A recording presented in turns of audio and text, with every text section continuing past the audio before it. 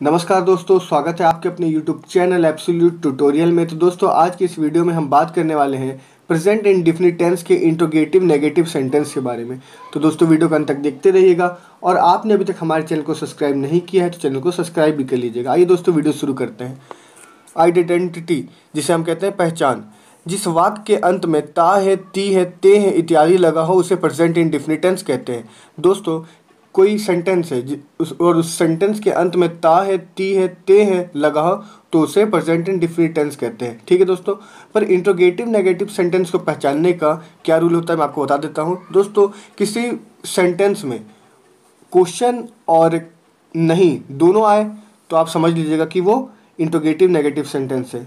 जैसे कि दोस्तों, मोहन आम क्यों नहीं खाता है? ठीक है दोस्तों, ये हो जाएगा इंट्रोगेटिव नेगेटिव सेंटेंस का एग्ज़ाम्पल मोहन आम क्यों नहीं खाता है? इसमें दोस्तों वो क्वेश्चन भी पूछ रहा है और नकारात्मकता भी आ रही है, जिसमें नेगेटिव लगा है नॉट लगा है. ठीक है दोस्तों? इसलिए ये इंट्रोगेटिव नेगेटिव सेंटेंस में आएगा. ठीक है दोस्तों? आइए इसका रूल क्या होता है देख लेते हैं. रूल इसका रूल होता है दोस्तों question word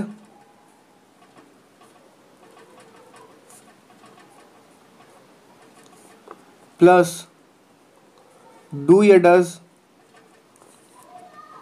plus subject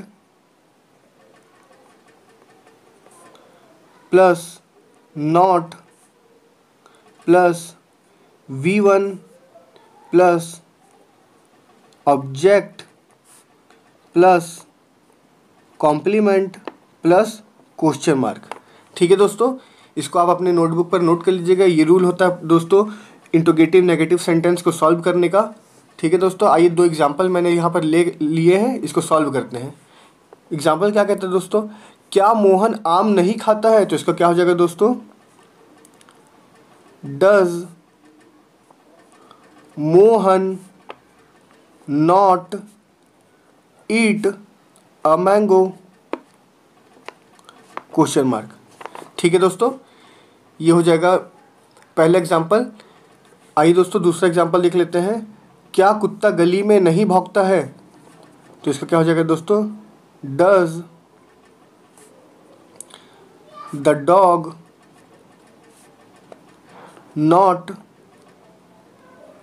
bark in the street question mark ठीक है दोस्तों, ये इस वीडियो में हमने समझ लिया कि इंट्रोगेटिव नेगेटिव सेंटेंस के बनाने के क्या रूल होते हैं और दो एग्ज़ाम्पल को भी देख लिए। आई होप दोस्तों आपको वीडियो समझ आ गया होगा। आपको ये वीडियो पसंद आए तो वीडियो को लाइक करें शेयर करें और चैनल को सब्सक्राइब कर लें।